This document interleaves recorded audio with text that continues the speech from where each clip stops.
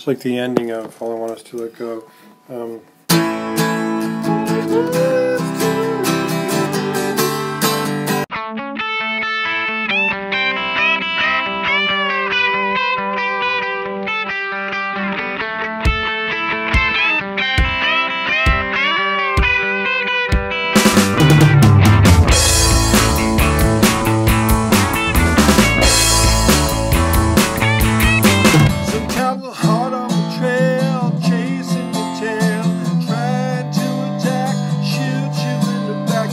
19th, cover your head. 2020, during the quarantine thing, and I'm working on my song All I Want Is to Let Go.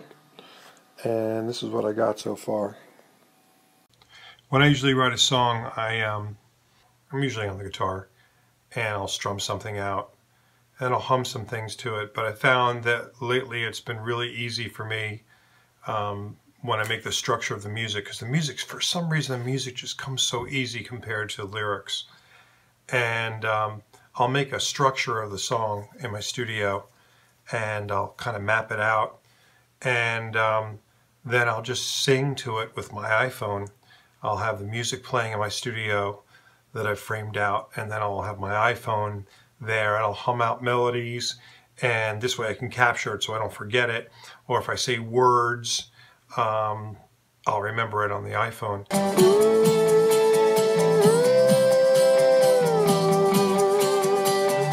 Guitar solo.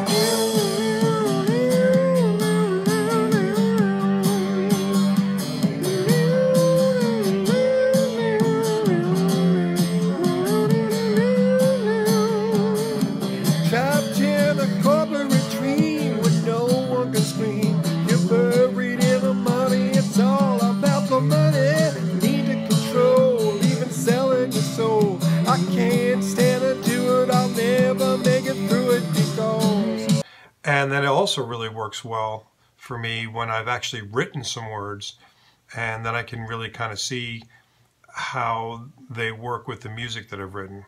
And that's usually my process. They train you hard to compete, to win and defeat. Slip down upon your brother, look down on one another. You're playing the game when you're doing the same. Feel your breath getting shorter, keep your head above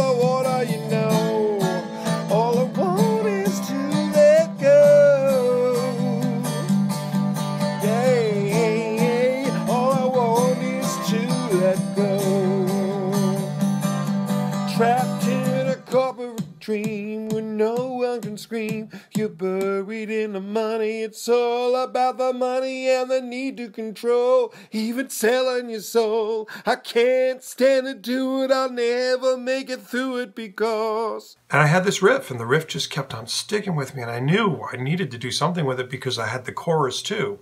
The riff and the chorus were synonymous.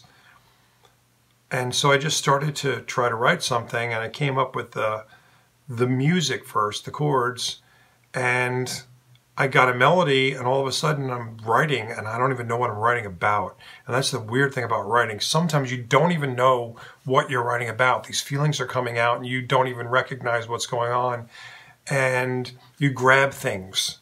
So in that, you know, first verse, um, my wife is an ER nurse, and uh, there's a line about put pressure on the wound, and um, that was all about you know me thinking about what my wife goes through when people are literally bleeding to death in the ER, and there are days you're so exhausted you feel like you're in combat, and I thought of my wife in the ER, um, putting pressure on their wounds um, and trying to hold on as long as you can.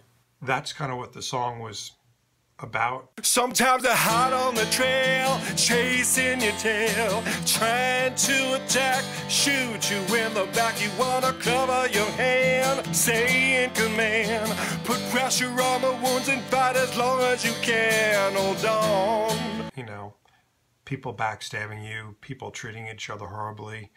Um, and you just want to leave it all. You just want to escape it. You want to go back to the good life and it has nothing to do with money.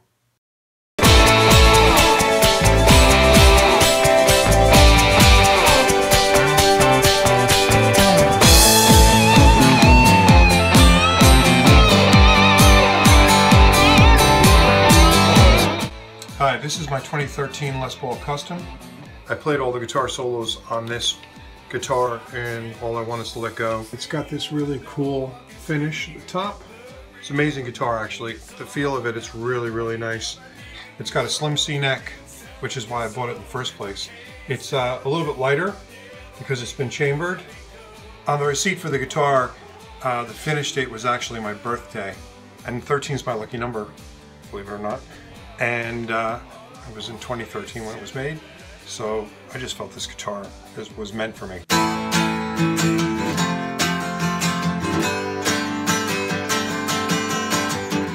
So this is my Donovan J45.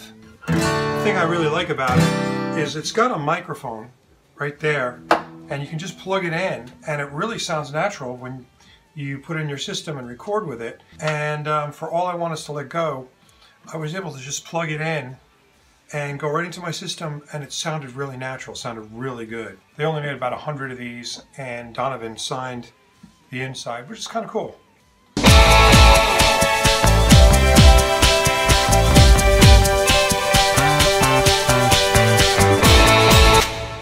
So this is a 2017 George Harrison tribute Telecaster. I've never really been one for Telecasters. And then they came out with this one, which is chambered and um, close enough.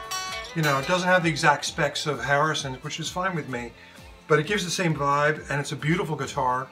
And it's a C-neck, which is what I, I use, the thinner C-necks. And I really like it. It's just got gorgeous grain and everything. It's really a lovely guitar and I use this um, for some nice textures and all I want is to let go.